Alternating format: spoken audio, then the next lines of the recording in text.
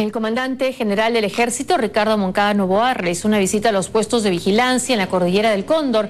En el puesto de Tambo dictó disposiciones para evitar la minería informal. El general resaltó la moral que tienen los miembros del ejército y las condiciones en las que se encuentran.